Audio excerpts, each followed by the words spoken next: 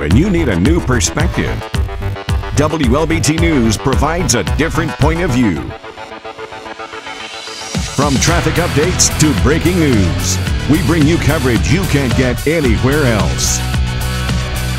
With Mississippi's only news helicopter, we can take you where no other station can. Skycopter 3, only on WLBT News. 3 on your side.